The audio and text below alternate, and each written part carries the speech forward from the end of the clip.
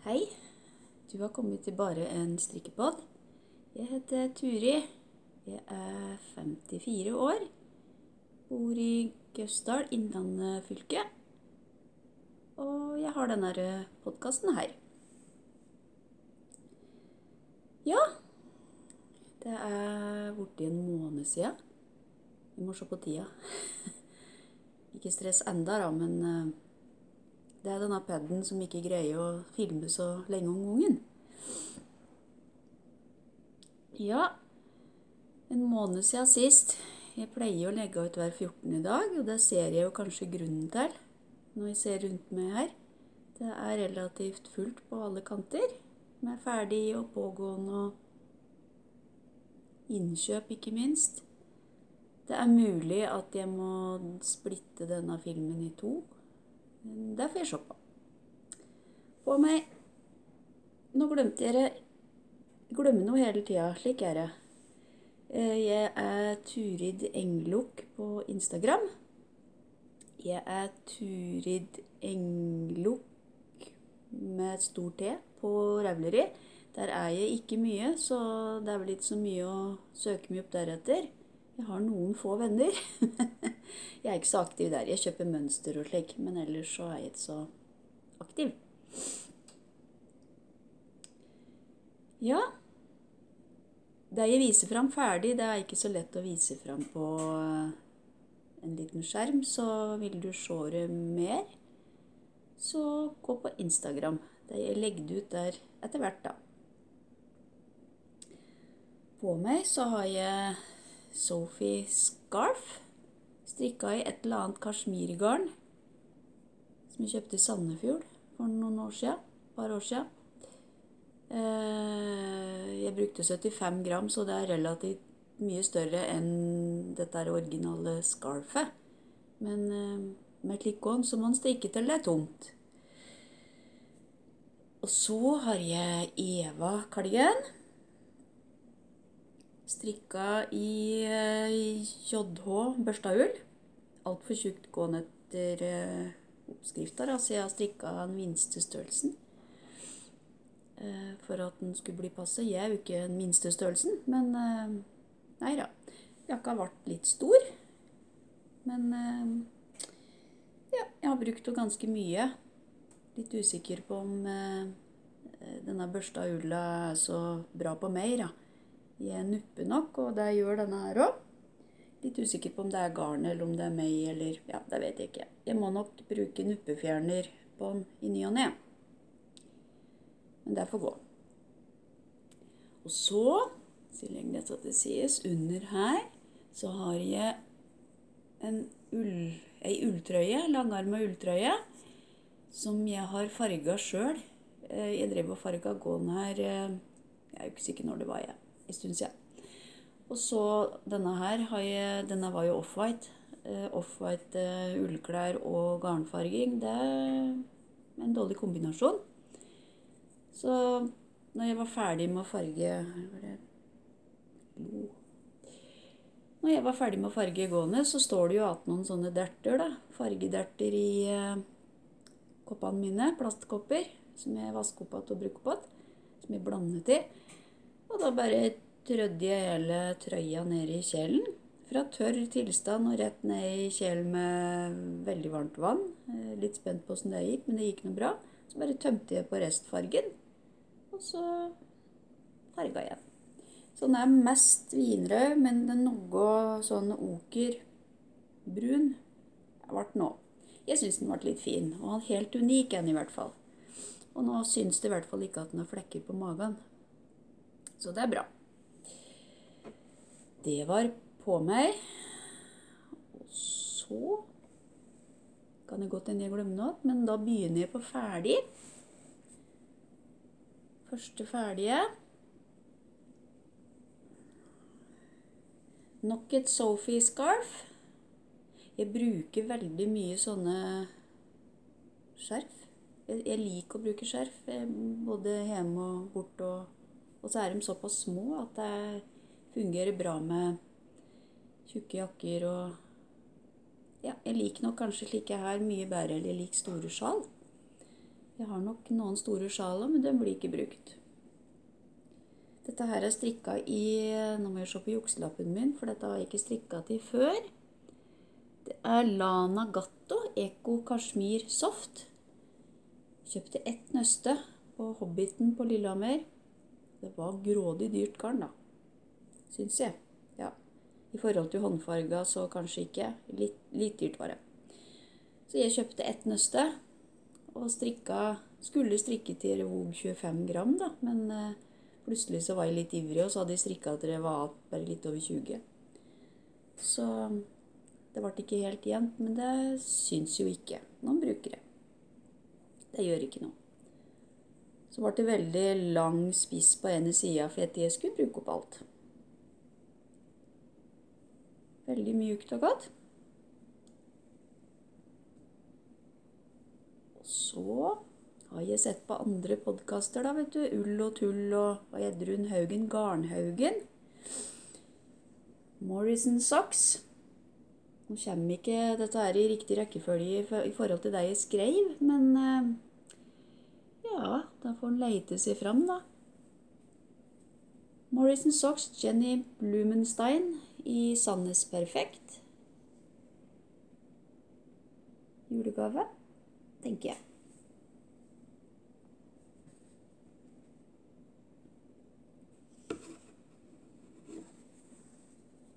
Herresokker. Sandnes Perfekt. Vanlig tre rett én vrang og ja Veldig vanlige sokker.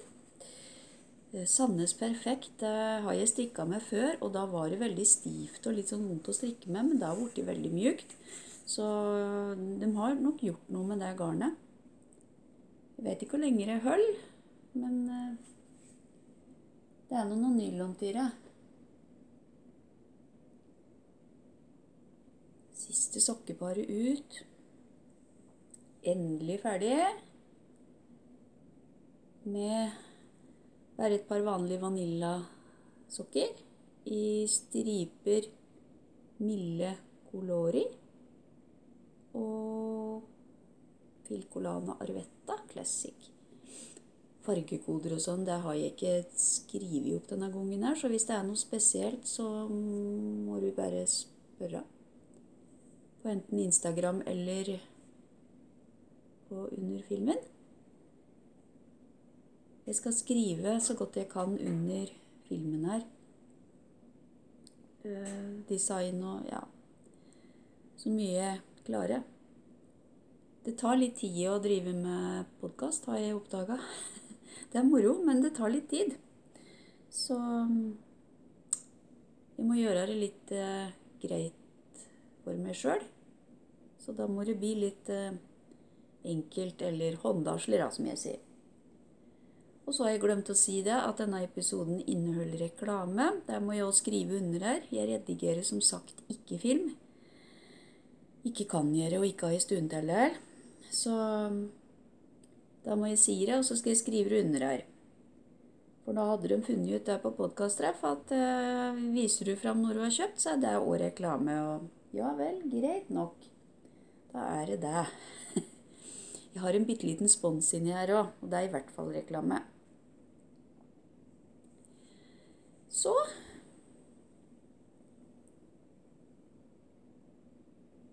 har jeg strikka kåpevotten.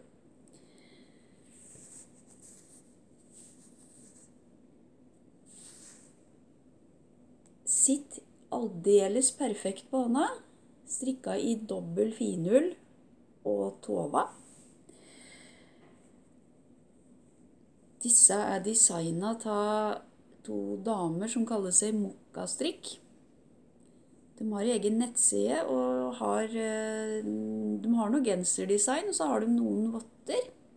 Og denne kåpevotten, den hadde så god passform. Eh, hvis jeg Der. Jeg har litt mye rundt meg.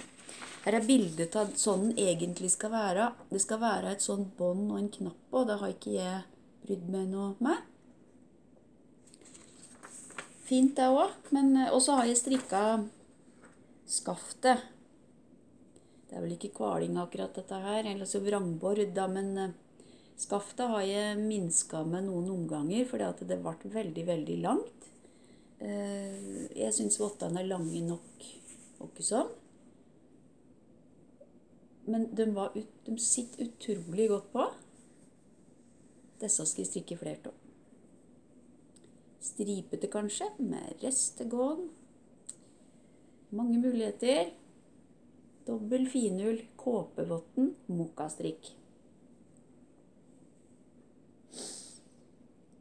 Og så litt fluff. I en strikkers uh, hjem er det fluff all over the place.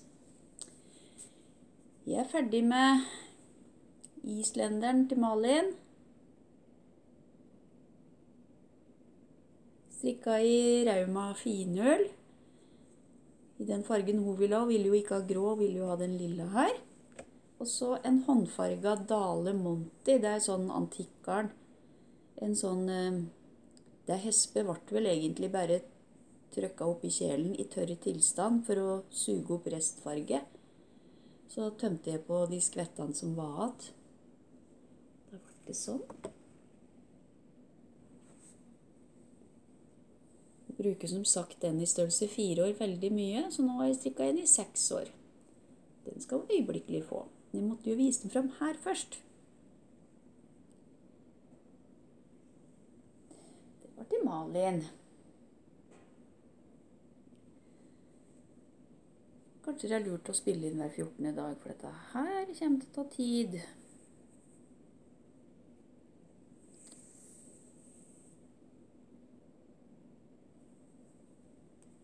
Dette er et scarf number one som jeg har bare strikka nokså mye større enn originalen. Dette er strikka i dobbel Leonora by Permin. Veldig mjukt, godt garn. Det har de òg på Hobbiten på Lillehammer.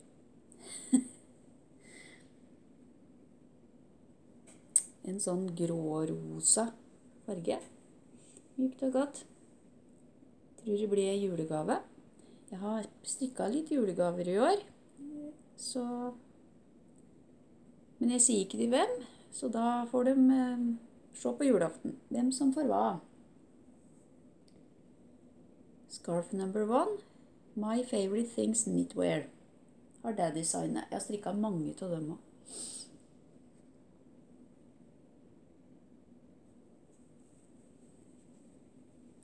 Så har jeg strikka hjerter i hånden. Det er Vivi og gutta som har designa. Jeg har strikka et par før, og dem strikka jeg i Rauma finull. Og så har jo Rauma kommet med det garnet Fivel. Det har ikke jeg prøvd. Så da tenkte jeg at jeg prøver i Rauma Fivel. Så disse er strikka i det. Eh, litt, kanskje litt for tjukt, disse vottene her, men jeg har strikka så stramt de bare klarer. Jeg, jeg strikker sjela stramt, men eh, noen ganger så må en jo skjerpe seg, da. Lite grann. Det må jeg gjøre ofte. Ikke bare på strikkefasthet. Mye annet òg. Vivi og gutta hjerter i hånden i Rauma Fivel. Godt garn. Litt tørt. Litt tørt å strikke med. Eh, hvis en kan si at garn er tørt. Det er vel, bør vel egentlig alt garn være. Men litt sånn rart tørt, men ålreit. Og de ble veldig tjukke og gode og varme. Så hvis eh, den som skal ha disse syns de er litt store, så er de jo kurante å bare kjøre litt i en tørketrommel fra våt tilstand, så tover de lett som en plett. Det var det. Kommer litt i julemodus, ser dere. Og adventskalenderne hagler inn. Snakke om å være glømsk. Plutselig så får jeg hentemelding og bare Oi, jeg kjøpte meg vel julekalender her i tidlig på sommeren, jeg. Det hadde jeg glemt. Jeg har eh, bytta med Brits strikkenerd. Da var det bare søndagsgaver og julaften, da, men eh, dog. Og så har jeg bytta med søstera mi. og søster Tone. Så da blir det litt julekalendere her i år.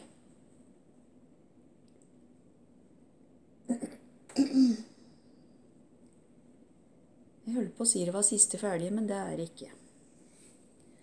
Og nå har jeg glemt å finne ut hva denne fargen her heter. Det er et sokkegarn fra garnbutikken Fortuna som jeg ikke husker navnet på. Jeg tror det står under forrige, forrige podkastepisode, for da dreiv jeg vel og strikka det. Jeg tror det står der. Ellers så er det lammøl, Rauma lammøl. Dette er Stay Soft skjold. Nå snakka jeg bak. Uh -huh. Vera Vellemekke. Egentlig et veldig kurant sjal å strikke. Men neste gang skal jeg strikke det litt mindre, for det er for stort. Etter min smak. Noen liker store sjal, andre ikke. Dette er litt stort. Men eh, jeg skal nok finne en mottaker.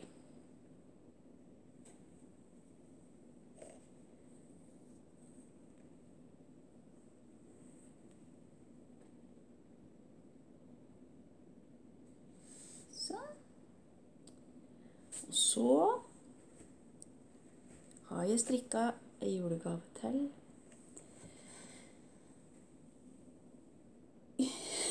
Raumapledd. Eh, Bitte litt mindre enn originalen. Fordi at det skal være passe til formålet. Jeg har ikke sydd på sånne striper andre veien. Det vurderer jeg å gjøre. Jeg har prøvd, men det, herregud, for en kjei jobb. Så om det blir, vet jeg ikke. Den er strikka i grå finull, og alle stripene er forskjellige enkeltnøster og rester. Noen fikk jeg bare ei stripe av, liksom denne. Den er plantefarga. Dette er plantefarga sølje. Eller så er det finull. Og så en annen ting jeg gjorde Jeg har ikke klippet trådene helt innåt del. Jeg har lagd en i-cord på kanten på sida. Aftenstrikk og Rauma. Aftenstrikk har jo et eget hefte som er gitt ut på Rauma med forskjellige oppskrifter. Og der er oppskrifta til dette her. Blir det striper, det vet jeg ikke. Da må jeg få utdelt litt større tålmo først. Og mer fluff. Denne gangen i munnen. Siste ferdige. Det er ikke ferdig. Men denne her er ferdig. Jeg har strikka ei rute i mitt forsøk på Vivid Blanket Tinkan Knits. Strikka i Rauma finull. Jeg har, hadde, har, slash har, vet ikke, planer om å strikke et teppe i Rauma finull. Dette her, Jeg syns de rutene er veldig, veldig fine. Men litt usikker på om jeg syns det var sånn rasende moro. Vi får se. Det kan bli et evighetsprosjekt. For noen har noen kilo med rester i finull. Litt te i dag. Aniste med sitron. Godt.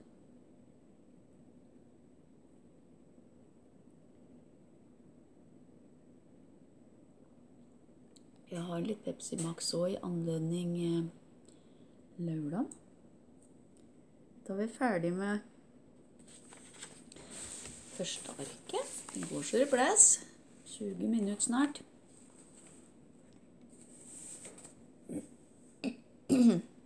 Så er det på pinnene. Det er litt, der òg. Jeg er glad i å legge opp. Eh, de fleste ser vel at dette er den første delen i Vertices Unite. Liten versjon. Nina i den glade tråd har samstrikk fram til februar, eller ut februar, det er jeg litt usikker på. Men det er alltid en stund, da. Så jeg la an med friskt mot under rosa, rosa samstrikken, og skulle bare strikke i rosa farger. Det skjer ikke. Men dette her er strikka i, Den rosa er en håndfarga Vis fram utafor. Det er smart. Det er en håndfarga Hillesvåg Vilje som jeg har farga. Og den hvite, det er en eller annen ulltråd. Han var nøsta opp eller kaka opp ut av banderole. Så det er for noe, vet jeg ikke, men det minna veldig om eh, finull. Men det var ikke finull, men et eller annet. Svensk, totråds, jerbo Jeg vet ikke. Vertices Unite. Litt usikker på resten av fargene. Eh, jeg får se. Jeg begynte vel med vinrød og rosa og bare de fargene, mens jeg har rekt opp igjen et par ganger eh, den andre delen. Men det skal bli. Det legger vi der. Og så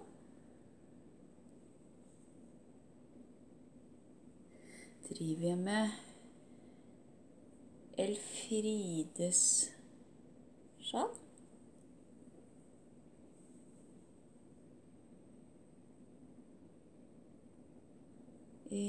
Vivi og gutta, som har designa det.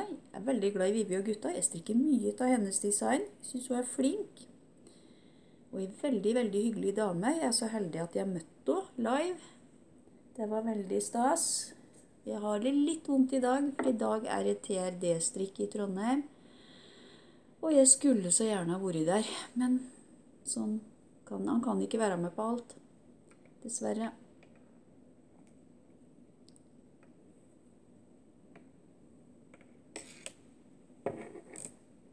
Prøv ikke bråke.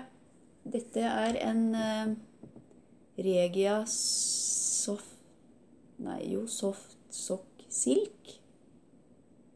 Det er silkeforsterkning i et sokkegarn. Dette kjøpte jeg i Finland i 2019, når jeg var på håndarbeidsmesse der. Uh, har spart på det lenge. Og så er det sammen med en Knitting for Olive i fargen rust.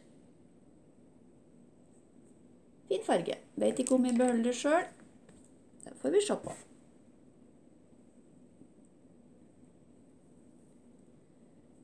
Jeg er vel eh, nesten halvveis.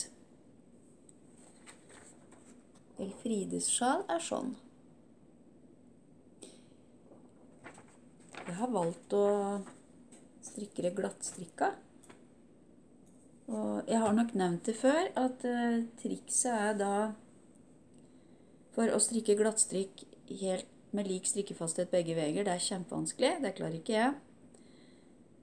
Utskiftbare pinner. Den ene er 4, den andre er 3,75. Den du strikker vrangt med, er 3,75. Ergo, så da får jeg det til. Noenlunde, i hvert fall. Denne kardiganen her er òg strikka att og fram hele veien, unntatt ermene, da. Men uh, det gikk veldig bra når jeg hadde 375. Eller da hadde jeg ikke Jeg hadde ikke pinne, riktig pinnestørrelse, men ja. Den ene pinnen er 0,25 mindre enn den andre. Da funker det for meg.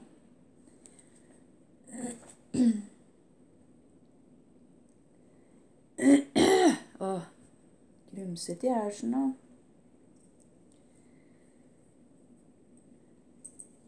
Så er det denne tilbakevendende saken her. Da kommer litt lenger. Willow Cardigan eh, av eh, Nå må vi se på jukselappen min. Nytt studio.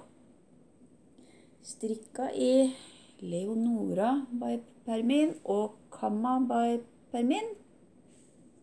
Nydelig kombinasjon. Blir veldig, veldig mjuk. Jeg har strikka dobbeltstrikk på kanten. Og det har jeg ikke gjort før. Uh, I oppskrifta så sto det at en skulle strikke Plukke opp bare annenhver maske langs hele kanten rundt. Det gjorde jeg, og så strikka jeg kanten. Ble ikke sånn veldig fint, så det ble jeg rekt opp igjen. Så jeg strikka kanten en gang til. Fortsatt er den litt stram, men jeg håper det seg når det blir blokka. Så jeg begynt på ene ermet her.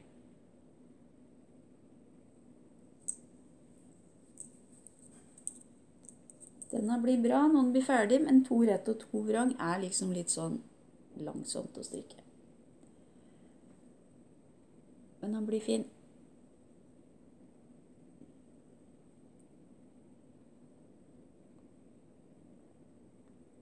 Begynner å bli kald teen allerede.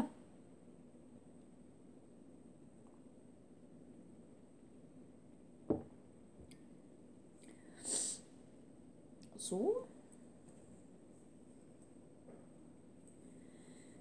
driver vi og strikker ankelsokker.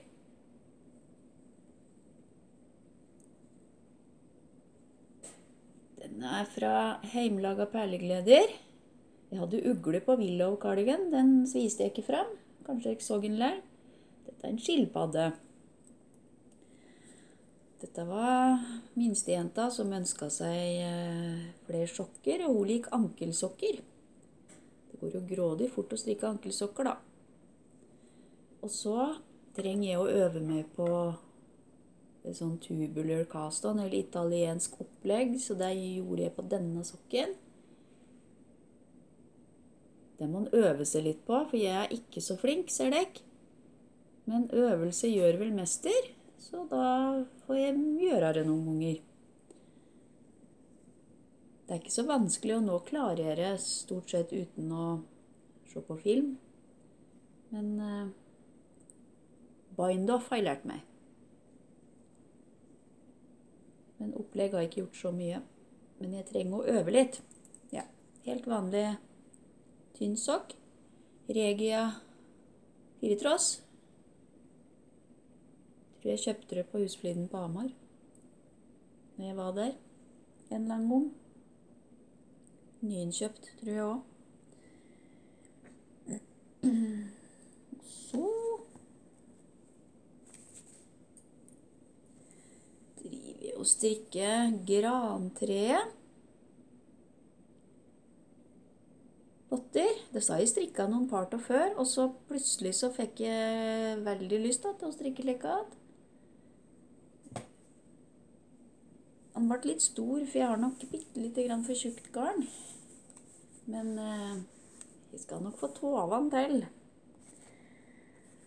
Eh, jeg strikker i årgangsgarn, Dale Heilo. Og dette her, Sparkjøp. Safiri fra Sparkjøp, Gjesdal. Ingen favoritt, men jeg, en eller annen gang for lenge siden når det var slik Black Friday, det er ganske mange år siden, så solgte de garn til ti kroner nøstet eller noe sånt, så jeg kjøpte jo da flere kilo. Og det fungerer til votter. Men uh, det er ikke så mjukt og godt da, som uh, mye annet. Men uh, han skal jo bruke opp garnet sitt, da. Det tror jeg kanskje jeg sliter litt med, for det er ganske mye. Men Og mer har det borti. Det må jeg ta etterpå. Jeg må bare se hvor lang denne filmen blir før jeg bestemmer meg for det.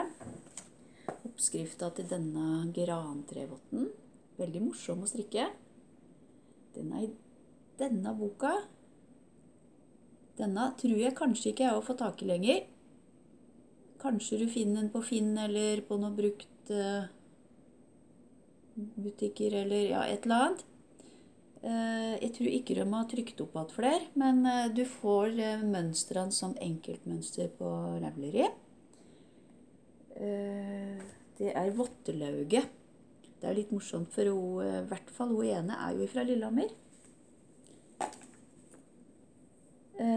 Hun som har designa denne votten, heter Møyfrid Engseth.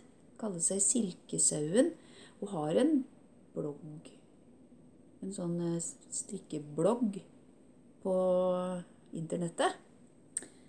Ja, men eh, om den er oppe og går, vet jeg ikke. Men jeg fant dette mønsteret på eh, Ganske oppegående som sjekker det før jeg lager podkast. Stolt av meg sjøl. Noen ganger så slår jeg til.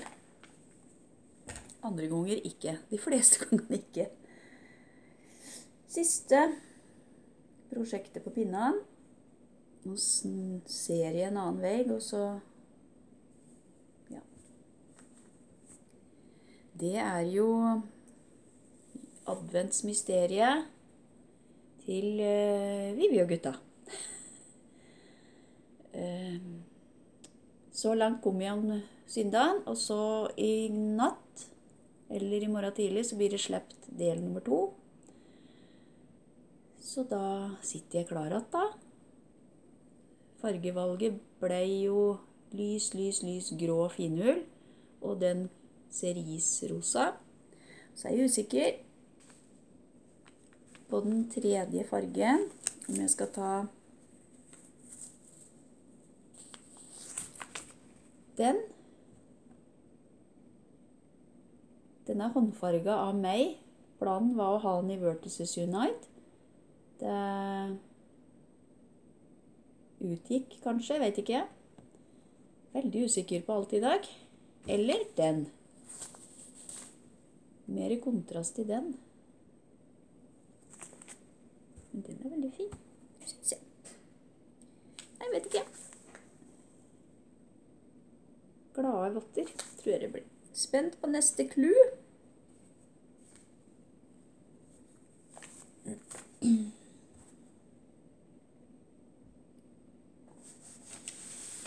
Det var det jeg hadde på pinnen. Jeg har noen planer. Eh, og i forbindelse med alt jeg har kjøpt. Noe garn er med plan, og annet garn er ikke med plan. Så eh, De planene jeg har her, som kommer til å skje ganske umiddelbart, det er julemorgensokker. Mønsteret kjøpte jeg i fjor når de kom ut, men jeg har ikke fått strikka dem ennå. Det er jo forskjellige design, eller forskjellige border her, da. Jeg syns disse var fine. Er det noe med grantre? De var veldig fine. Vivi og gutta. Dette blir litt sånn eh, innkjøp. Rauma PT5 grønn i som bunnfarge og beige i kanten eller i mønsteret er planen.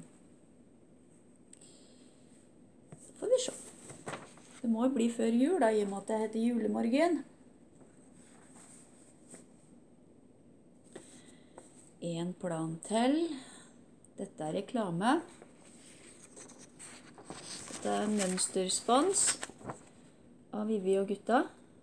Lupinvotter. Plutselig en morgen når jeg var på logga med på paden min og skulle se på Revleri Jeg er jo inne der og ser på ja, litt av hvert. Eh, da lå disse i innboksen min. Da hadde Vivi og gutta tenkt på meg og sendt disse, dette mønsteret til meg og dem skal jeg strikke. Litt inspirert av fargen på bildet.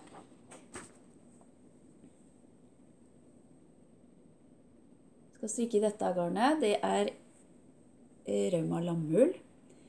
Det er en dobbel tråd, for jeg begynte Jeg la vel opp til en sånn Jenny sweater eller cardigan eller noe fra Petit Knit i dobbel lammull. Og så strikka jeg vel muligens bare vrangborden, tror jeg kanskje litt til. Og så ble det ikke noe mer av det. Og jeg orka ikke splitte tråden, så da ble det rekt opp igjen i dobbel tråd. Den har jeg farga. Skal bli lupinvotter. Det er litt Skal prøve å ikke bråke. Det gjør jeg, vet du. Men unnskyld for det. En plan til. Da har jeg ikke med noe garn, da, men jeg, jeg kjøpte én tråds eh, på Selbu spinneri jeg var på DRD-strikk i juni. I sånn sauebrun og ikke hvit, men naturfarga. Tynt entråds. Jeg har så lyst til å strikke disse. Disse syns jeg er så fine. Men jeg tror ikke jeg klarer å strikke eh, strikke disse med finull eller totråds gamleserien. serien. jeg klarer ikke å strikke stramt nok. De blir for store. Så entråds fra Selbu er planen. Det ligger nede. Fikk ikke veldig lyst til å legge opp nå, men jeg tror kanskje jeg har noe å strikke på fra før. Det er veldig mye fine votter i dette heftet her. Dette har jeg brukt kjempemye. Det er fra Rauma. Dette er frivillig reklame. Så er det det andre sida.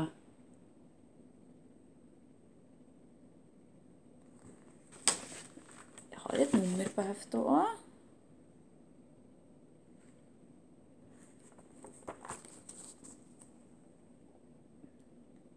Der. Han er så søtt. ja. Mye brukt hefte. Utrolig mange fine votter. Det er kjøpt på Husfliden på Lillehammer.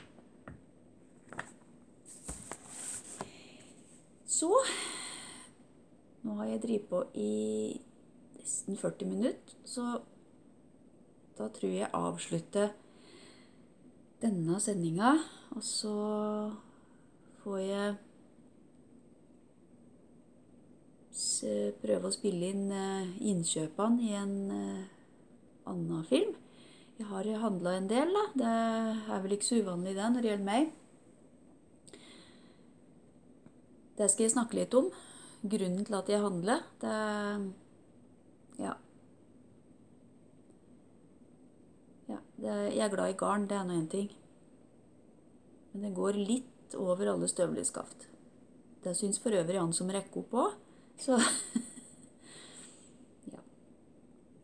Nei, men uh, En ting til som jeg hadde bestemt meg for å si, som jeg ikke har snakka om, det, eller sagt noe om, det er at jeg har lyst til å gi bort ei julegave.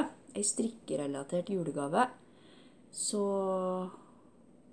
om du legger igjen en, uh, en kommentar under videoen så trekker jeg ut en eller to. Vet ikke. Det er mange som kommenterer. Eh, som jeg sender i julegave til. Og fristen for posten er jo da 16., 15. eller 16. desember. Så da må kommentaren være under her innen den 10. 10. desember. Så skal jeg trekke en vinner eller to. Og da må dere være litt raske på å svare mer, for da må jeg ha adresse og sånn. Så jeg får sendt julepakke. Så da sier vi det sånn. Og jeg har heller ikke takka for kommentarene som jeg fikk på forrige podkast. Tusen takk. Alle er lest. Alle elsket, som det står når jeg trykker på. Jeg har ikke fått svara på alt. Tida flyr, og det er travelt.